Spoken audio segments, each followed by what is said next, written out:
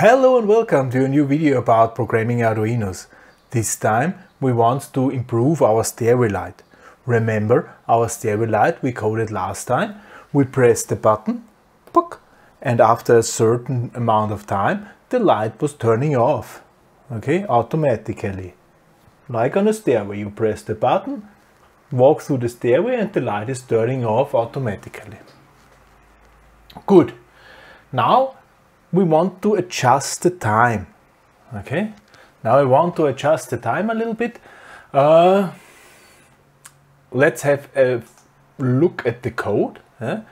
If we want to change the time, not 5 seconds, but maybe 10 seconds, we have to change it here in this compile time constant we have used. Yeah? We are uploading. Now we press the button and now it takes 10 seconds simply. We even see it in the in the uh, monitor. Yeah? We've coded in a way that we see counting down. Yeah? Now it took 10 seconds. Good. Yeah? But this is not convenient, right? This is for sure not convenient. Imagine you realize after a while, maybe it would be a little bit longer would be nice, or a little bit shorter would be sufficient. Yeah? Then you would need to recode your program. This is not nice. This is not nice. So what we're going to do is we will make the wait time adjustable. And we are going to do it that way that we are distinguishing. We do not want to add extra input inputs there. Yeah? We will, if we make a short press, it shall work as before, wait in a certain amount of time. And if we make a longer, if we press and hold the button for, let's say, a second, uh, so it should be sufficient, then it should change to learn mode. And in learn mode, it should simply stay on until the button is pressed uh, and then this is the time the next wait time will be. Mm, I'm not sure if I have transported this correctly. However, I will simply show you. Okay, so I will now add a new compile time constant. Define learn time. And we said one second, so it should be sufficient. Yeah? Ooh, I will save it under new name. Save as and now 9 stairway.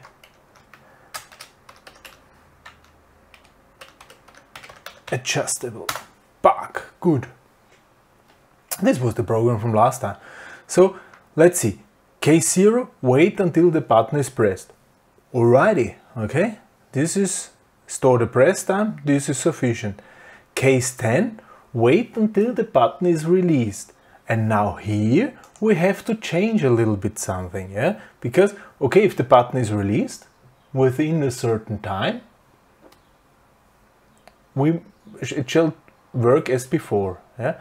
I will also use a new static variable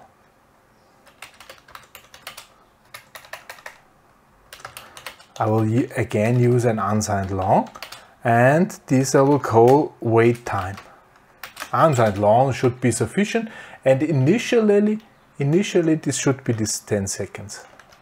Okay. and everywhere we have we are using light time yeah. We are waiting here and here.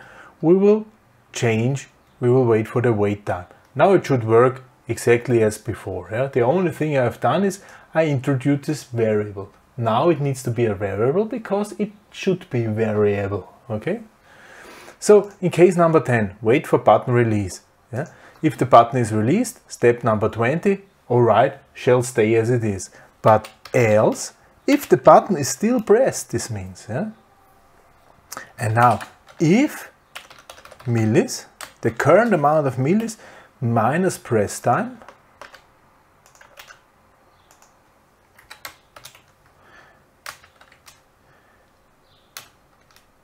is bigger than this learn time. This means the button was pressed and is still pressed longer than the learn time. Then here and now now we are already a beneficial of this current step 20 we will switch to current step equals I don't know. 13 13 is always a good number. 13 yeah. uh, here K13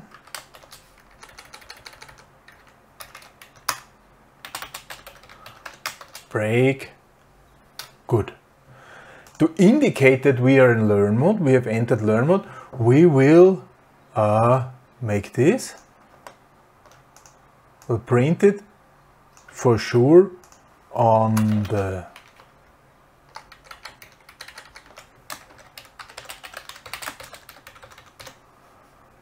serial monitor print line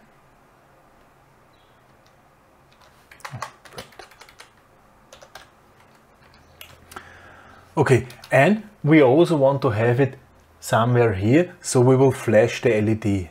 Okay, so we'll write digital, right? LED pin low. Then we we wait a little bit something. Yeah. We'll wait a little bit something, and then we will uh, we will turn on the LED again. We make it just blinking a little bit, okay? Two times should be sufficient. It will flash. Yeah? Good. And in case number 13, what are we doing? Yeah? Well, we are waiting for a button press. Yeah?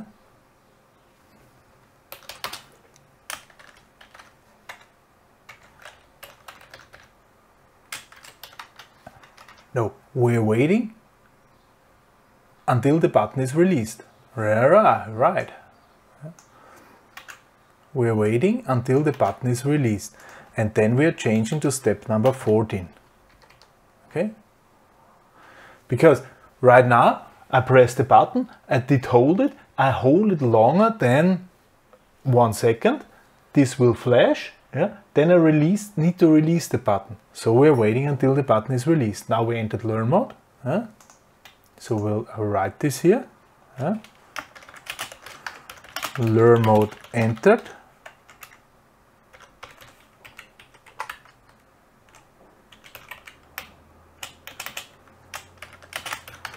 wait for button to be released. Okay, okay, okay. Then in case number 14,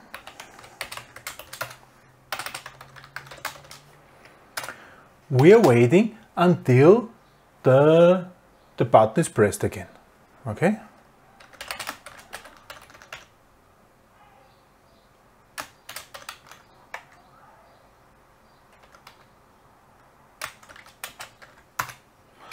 What shall happen then? Then I will switch to case number 30. This is good.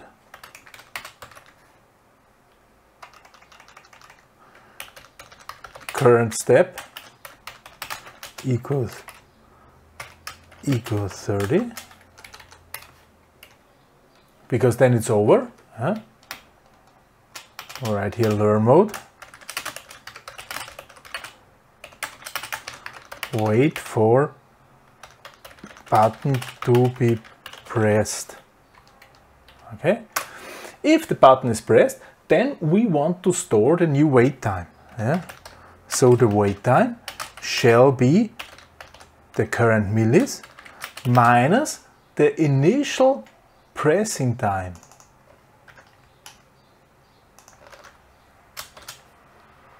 Okay, and on the serial monitor, I will also write this.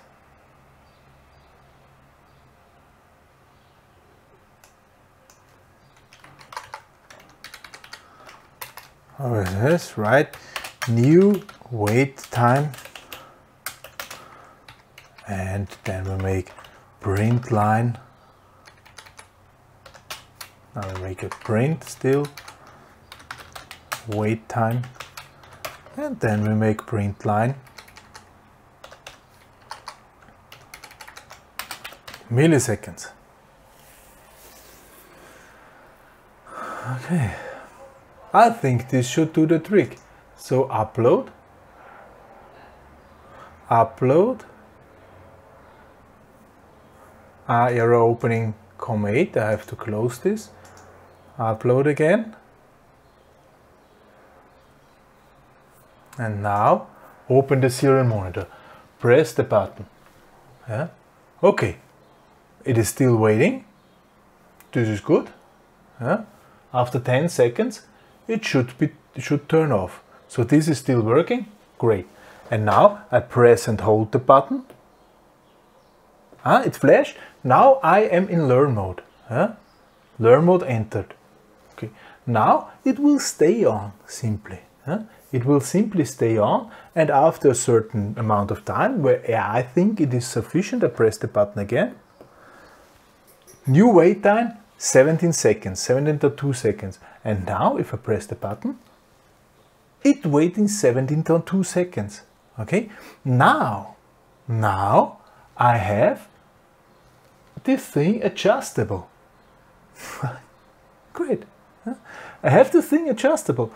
What is actually very nice. So with one button, depending on how long I press it, I can adjust my light time.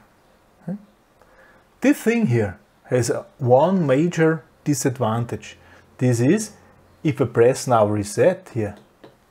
Now I press reset, in it done, you see, uh, and I press it again, it is again only waiting 10 seconds. Whatever I have adjusted is gone. If I unplug it from the power source, if there's a power outage, it's gone. Yeah?